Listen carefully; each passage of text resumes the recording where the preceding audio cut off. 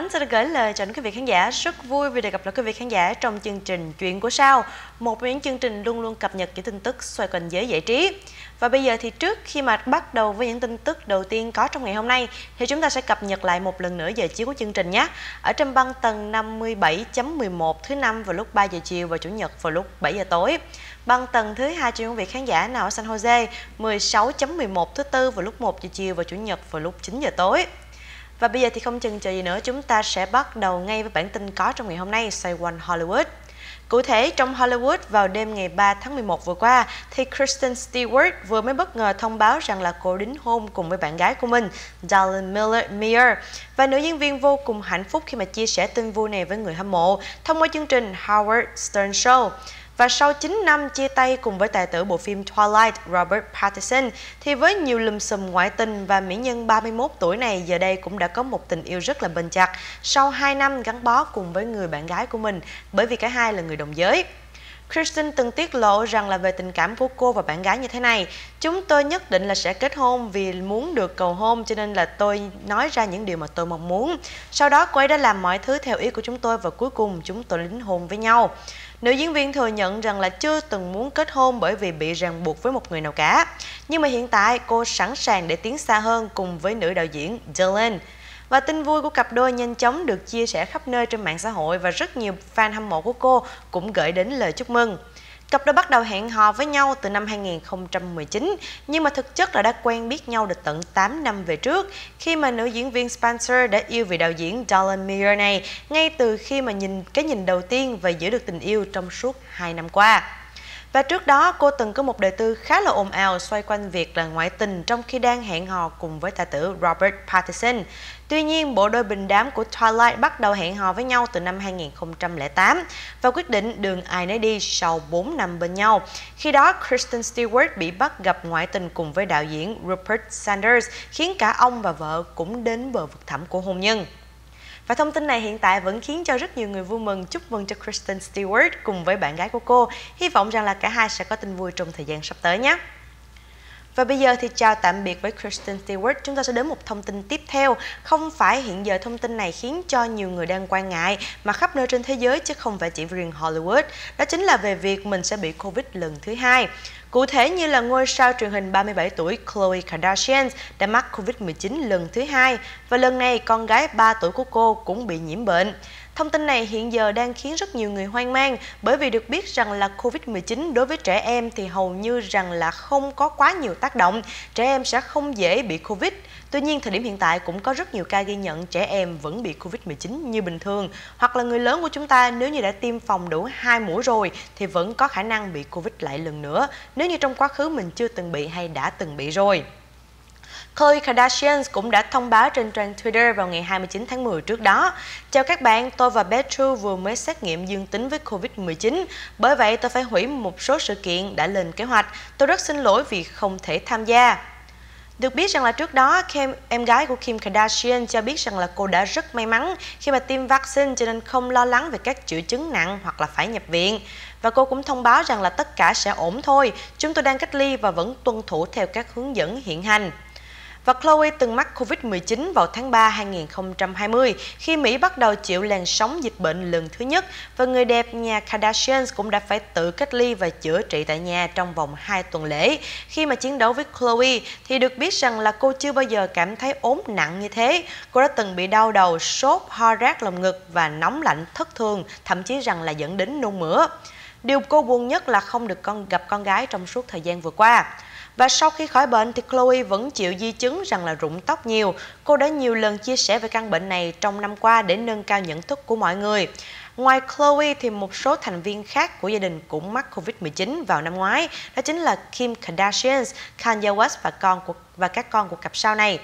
Và hiện tại thông tin bị mắc Covid lần thứ hai và lẫn bé True, con gái của Khloe Kardashian cũng bị nhiễm Covid-19 khi bé chỉ mới 3 tuổi, khiến cho rất nhiều người hoang mang. Bởi vì được biết rằng là nếu như mà tiêm phòng rồi thì khả năng bị Covid rất thấp hoặc là Covid đối với các bé không có quá ảnh hưởng nghiêm trọng. Được biết rằng là Khloe Kardashian là thành viên thứ ba trong gia đình Kardashians. Cô nổi tiếng từ khi tham gia show truyền hình thực tế Keeping Up with the Kardashians từ năm 2008 đến năm 2021. Khloe cũng thành lập và kinh doanh thương hiệu quần áo jean của mình là Good American và người đẹp sinh năm 1984 có một cô con gái cùng với bạn trai cũ của mình là cầu thủ bóng rổ Tristan Thompson. Hy vọng rằng là trong thời gian sắp tới thì Khloe Kardashian, con gái cũng hãy giữ gìn sức khỏe thật cẩn thận nhé. Và bây giờ chào tạm biệt với bản tin ngắn của Hollywood, chúng ta sẽ quay lại với châu Á trong suốt tuần lễ vừa qua. Trong suốt tuần lễ vừa qua, tính theo giờ địa phương ngày 1 tháng 11, thì Billboard đã thông báo rằng là ca khúc Money, ca khúc phụ trong MV của La Lisa, của ca nữ ca sĩ Lisa của nhóm Blackpink debut với vị trí là 90 trong bảng xếp hạng 170 bài hát hot nhất hiện tại. Thành tích này giúp cho Lisa vinh dự trở thành nữ nghệ sĩ solo, tức nghĩa là nghệ sĩ hát đơn ca, thứ hai trong lịch sử K-pop có hơn một ca khúc lọt vào bảng xếp hạng Billboard Hot 100. Và ngoài ra thì Lisa cũng trở thành nữ ca sĩ K-pop đầu tiên và nữ nghệ sĩ K-pop thứ hai sau BTS có ca khúc B-side hay còn gọi rằng là một trong những ca khúc phụ bên trong album này nhận thành tích Hot 100 trên Billboard. Lisa cũng là nghệ sĩ solo K-pop đầu tiên đến có hai ca khúc nằm trong bảng xếp hạng lần này. Đó chính là La Lisa xếp hạng 84 và Money xếp hạng 90. Và đối với bảng xếp hạng Billboard Global Excellence US thì Money cũng là tiếp tục gặt hái thành công với nhiều thành tích đáng nể. Và tuần này thì ca khúc xếp vị trí thứ 9 và tuần thứ ba nằm trong, liên tiếp nằm trong top 10 liên tục.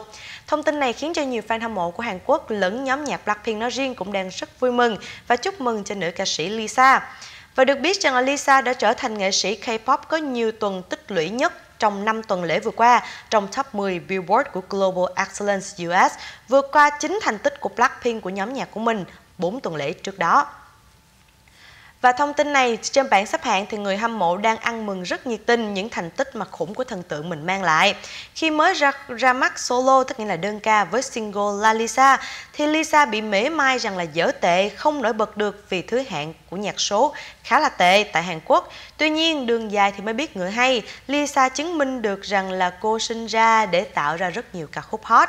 Không ai ngờ rằng là ca khúc beside Money, tức nghĩa là một trong ca khúc phụ của album chính, vẫn được xếp hạng bảng Billboard thứ 100. Đây cũng là một những thành tích rất đáng nể. Chúc mừng cho Lisa, hy vọng rằng là trong thời gian sắp tới, cô cũng giống như là nhóm nhạc của mình sẽ có thêm thật nhiều thành tích của mình nhé. Và bây giờ thì chúng ta sẽ chuyển sang một thông tin tiếp theo. Thông tin này xoay quanh Ấn Độ và hiện giờ đang khiến rất nhiều người hâm mộ tỏ ra đau, đau buồn. Cụ thể nhất đó chính là dư luận Ấn Độ vừa mới bàn hoàng trước thông tin về giữ về vụ tai nạn giao thông thảm khốc khiến cho Hoa hậu Ấn Độ cùng với Á hậu một thiệt mạng trong vụ án này.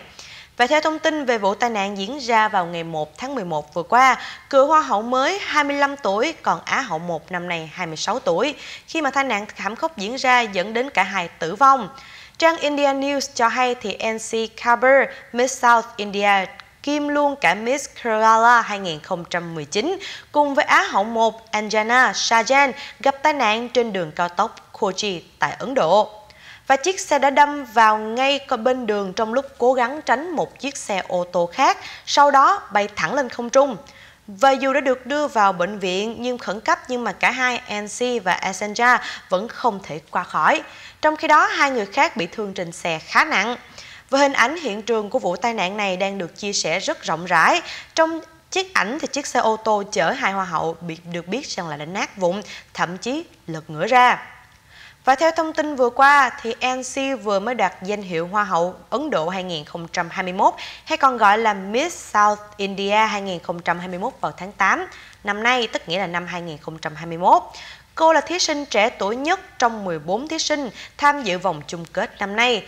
Và hiện tại NC bắt đầu sự nghiệp người mẫu 2018, sau đó cô được chú ý nhiều hơn khi mà giành giải Miss Kerala 2019. Nhưng mà trước khi mà đến với những thông tin tiếp theo xoay quanh hai Á hậu vắng số này thì Ngọc Ánh sẽ tạm thời nghỉ với lao cho phút thông tin thương mại nhé. Có được làn da mịn màng, trắng hồng, rạng rỡ, căng tràn sức sống là niềm mơ ước của hầu hết các cô gái và phụ nữ. Để giữ cho cơ thể trẻ, khỏe và đẹp, chúng ta có Venus Ginseng được xem là dược thảo thanh xuân dành cho phái đẹp, đặc biệt là phụ nữ bước vào giai đoạn tuổi trung niên. Đây cũng là sản phẩm đến từ Hoa Kỳ Xin quý vị hãy gọi cho International Home Shopping để đặt mua cho mình Venus ginseng ở số điện thoại 1888 680 6689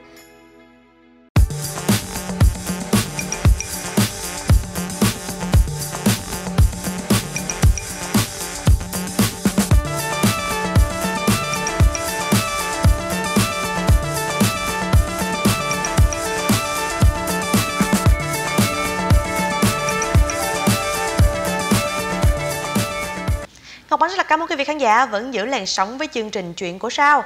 Thì hồi nãy trước khi mà kết thúc phần 1 chúng ta đã nói sơ qua một thông tin đáng tiếc khi mà cả hai Hoa hậu và Á hậu không thể qua khỏi trong một vụ tai nạn xe hơi thảm khốc. Và trong khi đó, khi mà nói lại với Á hậu 1 thì Anjana cũng cùng tham gia chương trình Miss Kerala 2019 với NC và giành được Á hậu vị trí Á hậu. Cô còn cho mình thêm hai giải phụ khác, đó chính là thí sinh sở hữu nụ cười đẹp và thí sinh ăn ảnh nhất của năm.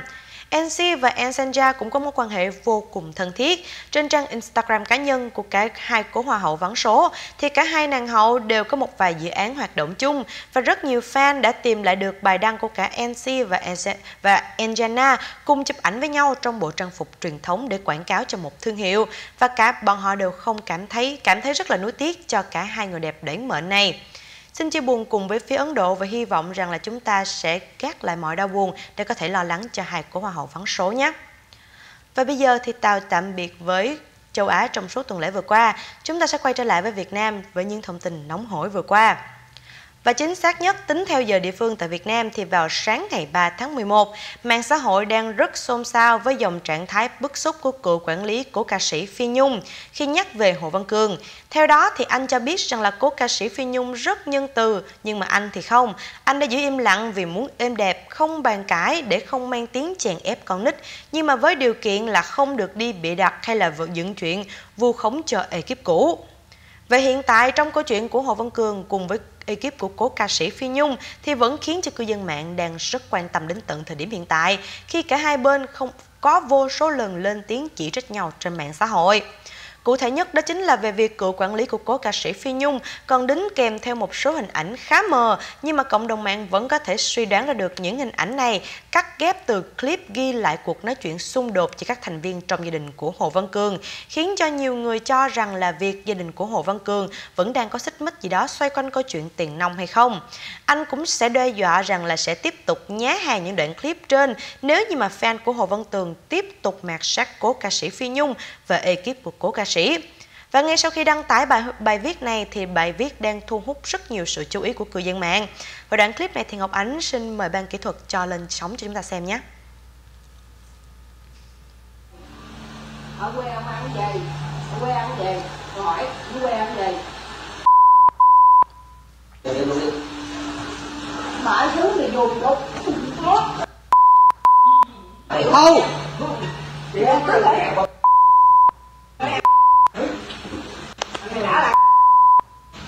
Thì em cứ lại đâu đâu có khùng thứ mày biết điều sáu mươi điều nha hiếu con tôi ra sáu mươi điều nha đâu em em cháu em cô em cô thằng cháu đó là kiểu bất đại đó là được biết rằng là trước đó, khi mà thông tin việc Hồ Văn Cường và cố ca sĩ Phi Nhung có xích mích với nhau, thì cũng có nhiều luồng tin cho rằng là về việc gia đình của Hồ Văn Cường không được văn hóa cho lắm. Về việc Hồ Văn Cường từng rất nhiều lần to tiếng với mẹ lẫn bố ruột của mình và liệu đoạn clip này được đưa ra thì khiến nhiều người đặt dấu chấm hỏi, liệu gia đình của Hồ Văn Cường có thật sự hiền như chúng ta nghĩ hay không. Trong đoạn clip vừa qua thì cả nhà đang tranh chấp cãi nhau với những từ ngữ khá là tục tiểu, cho nên có những cái tiếng bíp như vậy để mà ngăn chặn không có đang truyền trên mạng xã hội khắp nhiều nơi. Và giữa lúc mọi chuyện đang căng thẳng thì đoạn clip này đang được chia sẻ khắp nơi trên tất cả các mặt báo, thậm chí là các trang mạng xã hội của rất nhiều người, khiến cho một số cư dân mạng cho rằng là gia đình của Hồ Văn Cường thực chất ra không đơn giản như chúng ta nghĩ. Và bà Thu, mẹ của Hồ Văn Cường trong clip liên tục hỏi chồng là muốn 6 triệu hay 20 triệu, không biết rằng là gia đình này rốt cuộc đang có xích mích gì với nhau. Trong suốt thời gian vừa qua thì Hồ Văn Cường cũng đã quyết định dọn ra khỏi nhà của cố ca sĩ Phi Nhung và quay trở lại nhà riêng của mình vừa mới mua. Có lẽ nhà gia đình muốn có một sự riêng tư nhất định nhiều hơn. Và hiện tại đoạn clip này đang được chia sẻ khắp nơi khiến cho nhiều người căng khiến cho nhiều người vẫn đặt dấu chấm hỏi cực kỳ lớn về gia đình của Hồ Văn Cường lẫn ekip của cố ca sĩ Phi Nhung. Không biết rằng là xích mích lớn như thế nào mà đến tận thời điểm hiện tại, ekip của cố ca sĩ Phi Nhung vẫn chưa có dấu hiệu muốn buông tha cho gia đình. Còn phía gia đình thì vẫn tiếp tục im lặng nhiều hơn, chỉ có hai luồng dư luận đang tranh cãi dữ dội. Không biết rằng là trong thời gian sắp tới, phía gia đình của Hồ Văn Cường sẽ đưa ra những thông tin như thế nào? Chúng ta hãy cùng chờ xem nhé! Và bây giờ chúng ta sẽ chuyển sang một thông tin tiếp theo. Thông tin này cũng đang kháng, khiến là khá nhiều người hoang mang, thậm chí rằng đặt cho chấm hỏi rất lớn. Liệu có phải nghệ sĩ nhân dân Hồng Vân đang bị phong sát về vấn đề cấm sóng trên chương trình hay không vì những lùm xùm phát ngôn hay là PR quảng cáo dởm trước đó? Cụ thể nhất đó chính là nghệ sĩ nhân dân Hồng Vân cho biết rằng là cô đã quyết định rời khỏi chương trình Bạn muốn hẹn hò, một trong những chương trình hiện giờ đang rất được cư dân mạng quan tâm, thậm chí rằng là số lượt người xem rất nhiều. Với format của chương trình khá là đơn giản đó chính là có ông Mai và bà Mối sẽ ngồi đó xe duyên cho hai cặp đôi chưa biết uh, lẫn nhau tìm hiểu và sau đó quyết định có đi đến kết cục rằng là hẹn hò hay không hẹn hò. Và chương trình này hiện giờ cũng là một trong những chương trình rất hot tại Việt Nam. Và việc là nghệ sĩ nhân dân Hồng Vân trước đó thay thế cho diễn viên Nam Thư và Cát Tương là một trong những sự kết hợp hoàn hảo cùng với MC Quyền Linh. Tuy nhiên không biết vì lý do gì mà Hội nghệ sĩ nhân dân Hồng Vân vẫn quyết định rời khỏi chương trình Bạn muốn hẹn hò bởi vì cô cho biết rằng là lý do cô sang cho, cô sang Mỹ để thăm cháu ngoại và bị không phải là bị cấm sóng như tin đồn trước đó. Trước khi mà thông tin này diễn ra và đưa lên lời thông báo chính thức, thì rất nhiều nguồn tin cho rằng là nghệ sĩ nhân dân Hồng Vân bị cấm sóng bởi vì những phát ngôn xoay quanh câu chuyện là mắng chửi khán giả trước đó. Còn nhớ rằng là khi khoảng 2-3 tháng trước chỉ cần khi mà bà CEO Nguyễn Phương Hằng vừa mới lên sóng thì nghệ sĩ nhân dân Hồng Vân cũng đã có rất nhiều phát ngôn, khiến cho một số cư dân mạng không hài lòng lắm. Và sau đó, liên quan scandal tiếp theo đó chính là quảng cáo sản phẩm rẻ tiền không hợp pháp khiến cho nữ diễn viên cũng phải chịu thiệt thòi khá nhiều trước mặt của dư luận và khiến cho nhiều dư luận không còn tin tưởng vào nghệ sĩ nhân dân Hồng Vân nữa. Tuy nhiên, việc bị cấm sóng không phải như lời đồn trước đó, mà chẳng qua rằng là cô rời khỏi bạn muốn hẹn hò, cũng chỉ vì muốn sang Mỹ sang chăm con cháu ngoại mà thôi. Và theo phía chia sẻ của Hồng Vân thì cô chia sẻ như thế này, quyết định này là hoàn toàn từ phía của gia đình, mong mọi người hiểu cho tôi và đừng nghĩ sai vấn đề này nữa. Tôi thấy nhiều người đặt câu hỏi rằng là tôi đi định, tôi đi định cư hay là do công ty sản xuất cấm sóng. Thì chúng tôi như gia đình liền tay liền chân vậy, sao có chuyện đó được. Mọi người hãy nghĩ chuyện tích cực hơn cho cuộc đời nhẹ nhàng và vui vẻ. Đối với tôi thì bạn muốn hẹn hò giống như một gia đình, dù có tham gia tiếp tục hay không tôi vẫn sẽ luôn theo dõi và ủng hộ. Được biết rằng là trước đó, đại diện của nghệ sĩ nhân dân Hồng Vân cho biết rằng là chị vẫn hợp tác quay một số chương trình khác của cùng công ty, đó chính là Vợ chồng son, chương trình chung công ty sản xuất cùng với bạn muốn hẹn hò. Và show có thời lượng ngắn phù hợp với thời gian cũng giống như lịch trình của nghệ sĩ nhân dân Hồng Vân hơn. Vì vậy, vì vậy quyết định chị dồn thời gian ghi hình trước khắc rối trước đó về vợ, vợ chồng son cũng sẽ được phát sóng trong thời gian đi vắng. Như vậy thì khi cô trở về vẫn tiếp tục quay tiếp những số tiếp theo trong chương trình Vợ chồng son. Nghệ sĩ nhân dân Hồng Vân đồng hành cùng với chương trình Bạn muốn hẹn hò trong vòng 2 năm nay, quay hình hơn khoảng 200 tập phim và tiếp xúc với hơn 400 cặp chơi. Và với chị, đó cũng là một hành trình đáng nhớ và nhiều kỷ niệm. Cho nên, phía nghệ sĩ nhân dân Hồng Vân đã chia sẻ, Tôi nhớ là lúc đó mình rất áp lực bởi vì các tường đã quá duyên dáng, Nam Thư thì xinh đẹp và thêm cá tính, và thêm MC quốc dân quyền linh nữa thì nên cho dù rất thích thú, tôi cũng vô cùng lo lắng, cũng giống như là con gái ngày đầu tiên về nhà chồng vậy. Tôi không thể trẻ trung như các tường hay là Nam Thư, cho nên cần tìm ra một phong cách phù hợp với tuổi tác của mình nhiều hơn. Và hiện giờ thông tin này bạn muốn hẹn hò sau rất nhiều lần đổi nghệ sĩ nữ, thì cuối cùng MC trụ lại lâu nhất chính là MC Quyền Linh. Và người tiếp theo sẽ đồng hành cùng với chương trình đó chính là nữ diễn viên Ngọc Lan. Cô cũng đã có rất nhiều show khi mà quảng cáo cùng với chương trình và nhà sản xuất của công ty này. Và hiện tại sau khi Hồng Vân rời khỏi chương trình thì diễn viên Ngọc Lan sẽ thay thế. Và nếu như mà có một số ý kiến cho rằng là khi mà có sự thay thế này chắc chắn sẽ có tranh chấp. Tuy nhiên, phía nghệ sĩ nhân dân Hồng Vân vẫn khẳng định lại một lần nữa, Ngọc Lan sẽ làm tốt và mang đến làn gió mới cho khán giả. Bởi vì Ngọc Lan là một diễn viên tài năng và một MC hết sức duyên dáng, nhạy bén trên sân khấu với rất nhiều chương trình. Chắc chắn phong cách của Ngọc Lan sẽ trẻ trung và năng động hơn tôi rất nhiều. Và trước đó bởi vì ồn ào quảng cáo sản phẩm thiếu chất lượng hoặc là scandal lộ tin nhắn chửi khán giả của nghệ sĩ Hồng Vân khiến cho nhiều khán giả tỏ ra không hài lòng. Tuy nhiên, bởi mà nói thì đây cũng là một trong những nghệ sĩ khá kỳ cựu của làng giải trí Việt Nam, cho nên việc rằng là của cô cũng nhanh chóng bị lãng quên. Nhưng mà thôi hy vọng rằng là trong thời gian sắp tới thì nghệ sĩ nhân dân Hồng Vân cũng sẽ sang Mỹ thăm cháu và có thêm thật là nhiều show cho bản thân mình nhé. Và chương trình chuyện của sao ngày hôm nay đến đây cũng xin phép được tạm dừng. Thì mọi chi tiết thắc mắc quý vị cũng có thể gửi qua hộp mail của chương trình đó chính là chuyện của sao set@gmail.com. Những quý vị khán giả nào vẫn chưa có cơ hội theo dõi trên TV thì cũng có thể theo dõi lại trên kênh YouTube của đài. Ngọc Ánh rất là cảm ơn quý vị khán giả, hy vọng rằng là sẽ gặp được quý vị khán giả trong những chương trình kỳ tới.